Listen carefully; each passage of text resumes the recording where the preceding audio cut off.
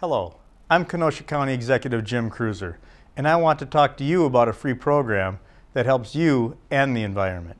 The Kenosha County Household Hazardous Waste Program is a free program that helps Kenosha County residents dispose of their household hazardous waste. Residents of the City of Kenosha have a similar free program. Please call the Kenosha Water Utility at 262 653 4300 for more information regarding that program. People living in Kenosha County outside the city of Kenosha can bring their household hazardous waste items to the Kenosha County Center on Highways 45 and Highway 50 in Bristol on Saturday, May 4th from 8 a.m. to 1 p.m.